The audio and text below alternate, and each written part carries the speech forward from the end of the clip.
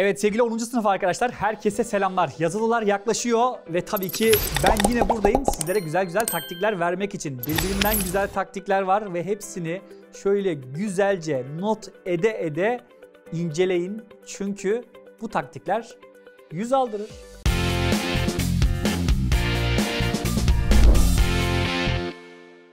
Evet yazılılar yaklaşıyor ve yazılılar yaklaştıkça böyle birazcık içerimizi stres, endişe vesaire gibi kaygı gibi durumlar direkt olarak kaplıyor olabilir. Bu durumlar ortaya çıkıyor olabilir.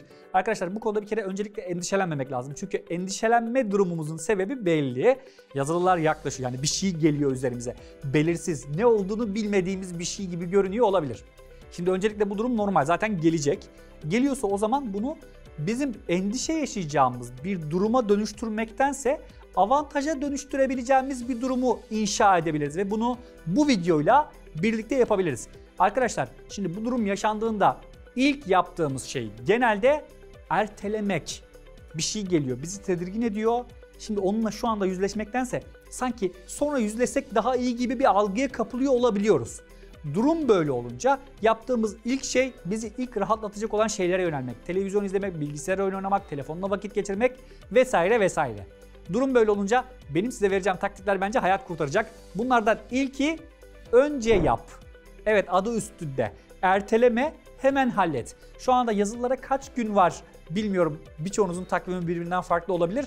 Ancak şunu şimdiden söylemek isterim. Özellikle okulda dinlediğiniz dersleri evde gelip minik bir tekrar yapmak için şu anda çok sebebiniz var. Çünkü biliyorsunuz yazılılardaki soruların önemli bir kısmı son ünitelerden ağırlıklı geliyor ve okulda da şu anda aktif olarak bunlar anlatılıyor arkadaşlar.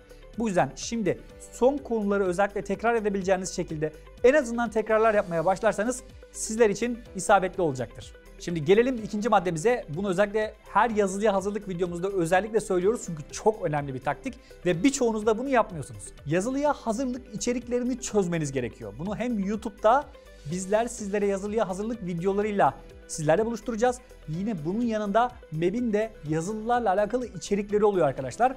Veya bunun yanında web sitelerinde arayacağınız yazılıya hazırlık PDF'leri de Bunlar hayat kurtaracak arkadaşlar. Ne yapacağız? Alacağız, çözeceğiz, ne yapıyoruz, ne ediyoruz cevap anahtarlarıyla karşılaştıracağız ve yazılıyla alakalı öncesinde kendimiz bir puan almış olacağız. Yine bunun yanında özellikle ifade etmek istiyorum ki önümüzdeki günlerde yazılı kampı videolarımız sizlerle olacak. Özellikle bu videoları takip etmeyi unutmayın. Yani biraz bunların peşine düştüğümüz zaman yazılılardan kısa bir süre içerisinde çok fazla puanlar almak da mümkün olacak. Bir sonraki maddemiz biraz okullarla alakalı. Stratejik davranmak. Ne demek bu stratejik davranmak? Özellikle bazı öğretmenlerimiz açık uçlu soruları kendileri de hazırlayacaklarsa ne yapıyorlar biliyor musunuz? Oturuyorlar şöyle güzelce bakın bu noktayı sakın kaçırmayın. Burası çok önemli. Şuranın altını çiziyorum. Bakın burası karşınıza mutlaka gelecektir diye o başlayan cümleler var ya işte bunlar yazılıda çok büyük bir ihtimalle soru olarak gelebiliyor arkadaşlar. Bazı arkadaşlar bu konuda dikkatliler. Eğer onlar şu anda beni dinliyorlarsa yorumlara da yazarsa sevinirim. Şimdi siz böyle bir olay yaşadınız mı? Yaşadıysanız bunlar karşınıza nasıl bir hikayeyle geldi? Şöyle minikçe belirtin. Ben de onları böyle tek tek okumak istiyorum.